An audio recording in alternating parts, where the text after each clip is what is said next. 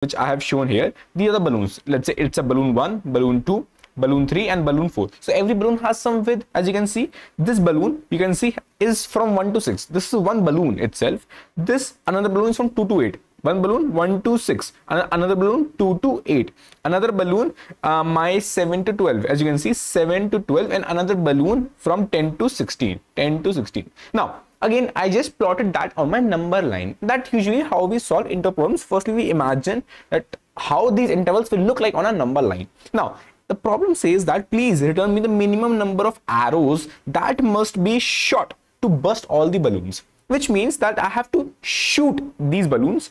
As you know this line is a balloon and I have to shoot these balloons and I have to use minimum number of arrows why they're asking for minimum arrows because they know that if I shoot the arrow like this with this one arrow I can shoot these two balloons. If I shoot the arrow like this with this one arrow I can shoot only one balloon. So you can easily see that although they say that you have infinite number of arrows, but still in worst case, I can shoot one like this, one like this, another like this and another like this with four arrows for sure because I have four intervals or, ha or I have four balloons. In worst case, I can take four arrows and I can burst all the balloons. But they're asking, bro, give us minimum number of arrows. So I can for sure see that, okay, one, I can shoot this specific, one arrow which can shoot balloon 1 and balloon 2 then I can shoot this arrow which can actually shoot balloon 3 and balloon 4 so so far I have realized I can use minimum two balloons now can I minimize this much much further so you can see maybe I can shoot this but if I shoot this then this balloon is not shot which means balloon 1 and balloon 4 is also not like not shot so I have to shift this to maybe somewhere here but again I have to shift somewhere here so it I can roughly say okay for some minimum number of shoots required will be 2. I cannot minimize much smaller than 2. Okay, great. Now let's take the next example. There, here you can see all these again. Remember, all these are the balloon widths, and I can shoot one balloon like this. I can say I can shoot at one place. How many number of balloons comes in that place? that's a luck for me so in this as you can see all the balloons are actually not overlapping so i cannot take one shot because here i can easily see that these two balloons balloon 1 and balloon 2 are actually overlapping so i actually shot it in between so that two balloons got shot with one arrow right okay so you have heard a word overlapping. And maybe we have already seen something as overlapping non-overlapping intervals. Because we can imagine this line as an interval. And we have already seen such kind of problems. That's a hint for us. Okay great. Let's go on. So in this you can see that you have to shoot this specific balloon because it is not overlapping with anyone.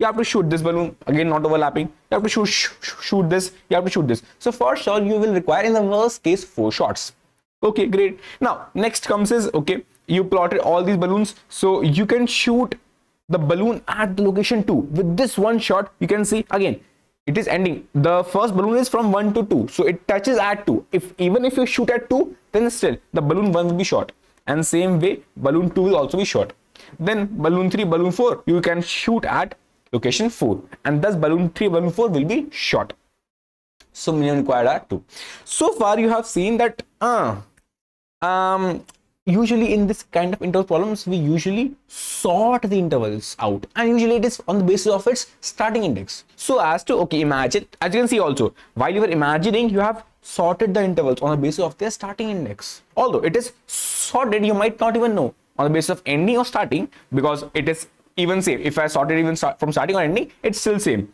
Still same on both starting and ending. And this also still same on both starting and ending so you might not recognize. It is sorted. You can see by your eyes but it is not on the basis of starting or ending. So one thing is for sure you know that okay i will sort these intervals. Now if these intervals are sorted now i have to just figure out i have to just figure out that at what location i should put a cut. At what location I should put a cut that I should get maximum number of overlapping intervals. Now let's imagine that I am about to place some cut. So I went on, okay, let's imagine I again, usually we sorted by the basis of start index, right? That's all what we have been doing so far. Every time we have been doing this specific thing only. So let's come on and sort it down. Okay, it is sorted now. Now I will have to find a location so that I I will put my arrow at that location and ultimately I will have maximum again remember the fact one thing is that you have to burst all the balloons and then next thing is you have to use minimum number of arrows. So if I have this specific B1 I know for sure I have to burst my B1 balloon for sure. I have to burst my B1 balloon for sure. So why can't I just say okay I know it is sorted on the basis of its start index start index start index and start index. So if I want to maximize the number of overlapping shots so i can just in the balloon one end in the balloon one end i can just simply put a shot in the balloon one end i can simply put a shot Aryan, what's the benefit of putting a shot at the balloon one end only? Because one thing is for sure, I had to burst balloon one. That's one thing. And then I thought of what if, what if some other balloons was maybe coming in in the in between in in before this? Because we know one thing is for sure that it is sorted by the start index ah it is, sort, it, it is sorted by the start index. So for sure for sure other start index is actually before. But Aryan you saw here what happened. If the if the ending is after this shot then it was okay. Then your strategy was okay. But Aryan you itself showed you yourself showed that what if you're starting and ending would have been before this shot you're starting and ending although you can see it is sorted on the basis of its start index but its ending is also before. Ah uh, then if you just shoot at the last location because it seems obvious i will shoot at the extreme end of my balloon one so that all the balloons or major number of balloons will get shot. But then i recognized here itself that if i shot at the end of my balloon one then maybe i miss some balloons. I miss some balloons because by this fact, when I'm shooting at the last location, I can see, okay, balloon 1 and balloon 2 are shot then I will go on to next balloon. Okay, next balloon is nothing but B3. Again, I will go at the end of B3 and then I'll shoot this again. So, so far, but the example itself, it seems okay. Answer is 2. But we also saw that we missed some balloon because of it is not necessary that its end is actually also further than the end of my starting of that specific balloon one. So we realized uh, issue. If we sort by start index, then there can be a chance that if I if I start by start index, so you can see start, then start, then start. Then if I take the end of my first interval, then um, I might not shoot these two balloons. So rather, I should, again, I know one thing, I will have to sort my intervals. So rather, let's try sorting by end intervals. Okay, I sorted by end intervals. Then what happened is it will become as, okay, one, it's a first interval, second, it's a third interval. Now again, I will try the same thing. I will try to shoot on the basis of my first interval. I will I will shoot it up. Okay, I will shoot it up. Okay, great. One shot done. And the and the balloon one is burst. Aryan, is the balloon three also burst? Um, logically thinking, by your naked eyes, it is. You can see it will also be burst. But programmatically, how will you implement it? That's a question. Cool. But yeah, logically it will be burst. Then you will go at the end of balloon 2. It is also burst. Then you will go the end of balloon 3 is it are you saying are you, will actually put one more arrow here again? I'll say no bro. Why no bro? Because i can see if i am applying a shoot here if i'm applying a shoot here so i know the last arrow shot the last arrow shot was at this location. Let's say the location was 8 now i know one thing for sure is i had to now i'm guessing i had to apply next shot at this location 9 but its length is actually big its starting index is actually let's say at 1 so i know if i'm applying a shot at 1 the next shot the next shot which i'm trying to apply on i know it is for sure. Its end value is for sure more than the previous shot. So end value is more if its start value is less than this arrow shot. You see what's happening? So i'm applying a shot here. I know the end value, the end value, the end value is after me because I've sorted on the basis of its end index if if anyhow i can check the this interval this interval let's say this interval let's say interval of i. This interval's start value if it is less than my current shot current arrow shot let's say name it as arrow shot. If it is less than my current arrow shot again less than or equal to my current arrow shot i'm done. I'm done. What what, what i mean i'm done? I mean i don't have to make a new arrow again. I can use this existing arrow shot and this interval will also be shot by this arrow shot. So ultimately what happened with us is that firstly we have to sort our again we are given this array called as intervals which is points given to us. So firstly i will have to sort my points. Again points dot begin points dot end Now, by default, this sorting which happens is it's sorting it's sorted on the basis of start index. So I will have to use a custom comparator. This comparator should sort on sort on end index. And again in the increasing order. Increasing order. Now, when this portion is sorted, now you are actually good to start making your busting. So for that, you will have to use an arrow shot at what last location you, shot, you shot an arrow. So in the very beginning, I can say my arrow shot was at location minus one. Or I can say, okay, I did not shoot any arrow minus one. Okay. And by default, I can say uh, the count of shots were actually also zero. Then I can simply iterate. I can simply iterate on all the arrow shots. So I can say auto my every point I'll go on to and I'll say, okay, the I'll go on to all the points in the entire, which is I'll go on to every interval. Now for every interval, I'll go and firstly have a quick check that if the arrow shot which I did, the arrow shot which I did, which is this arrow shot, last arrow shot which I did, if it is actually more than, again, if it is actually more than or equal to my starting index of this current interval. So if it is more than or equal to my point of zero, then bro, I don't need to have any extra shot. I can try for the next interval. I can simply continue. But if not, if not, but if not, which means as you can see, the for this specific for this this was the last arrow shot. This was the last arrow shot.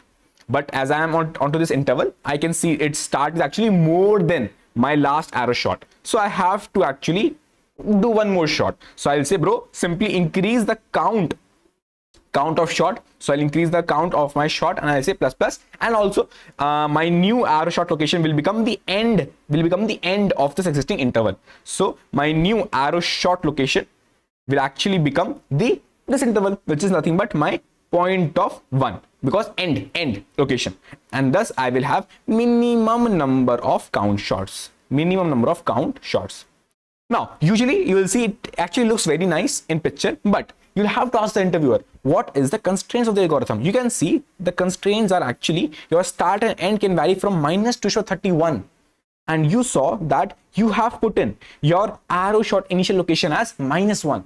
It is only applicable when your coordinates are actually positive. But you saw your coordinates can be also your coordinates can also be negative. And that too like you, you saw that your coordinates can actually be negative infinity in integer limit so you have to do one thing. Either you have to initialize that with long, long, like or maybe long, and then put a number which is more than more than minus 2 power 31 or I can say less than minus 2 minus 2 power 31 so you can either put in uh, long and then minus 1 e9 sorry minus 1 e10 that's one way.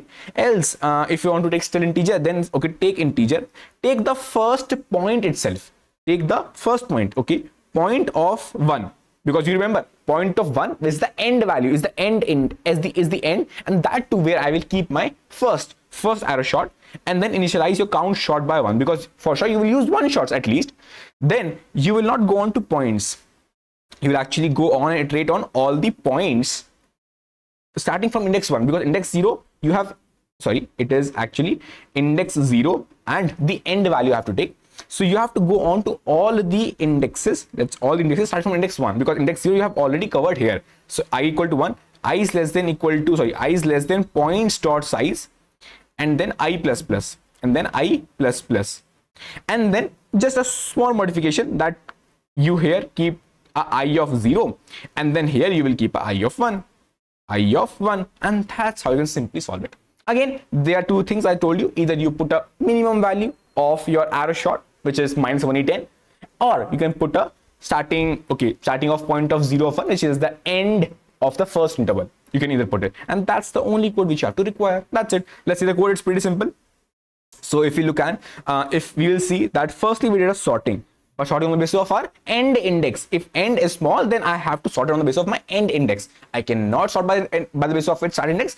If i even if i want to do sorting on the basis of that i have to modify my logic a bit so that's how we go about it. Now current arrow position as i figured out okay i will put in my first intervals end as the current arrow position because that's the optimal. And for sure i have used one arrow shot. So use one arrow shot. Now i'll go on from index one which means i have utilized already index zero and then go on to the end.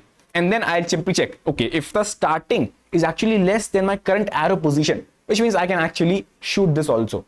Because I know the ending will for sure be more for sure be because the points of i of 1 it will for sure be more. It will for sure be more because I have sorted on the basis of its end index. So this will for sure be more. This is for sure less. So it is in between. So for sure if something is between it can shoot it. So I can I can actually shoot it. And I can simply say no increase of count shot required. Simply continue. And try for next interval. If it is not then I have to uh, shoot at that location. So new arrow new arrow position will become intervals end and also one arrow shot I have used so increase the count by one and ultimately return the count of arrow shots. As you can see you did a sorting. That's a bottleneck of this question. So the time will be o of n log n and you are not using any extra space apart from sorting internal extra space used. So for java and c++ it's o of log n while for python it's o of n and that's how you solve it. Cool. Bye bye take care. I hope that it's an easy question. But again interval questions are never easy considering how you go about it. And they can become very complex. People start adding if conditions on lot because they end up giving wrong answers a lot so it's a very good question to learn. Bye bye.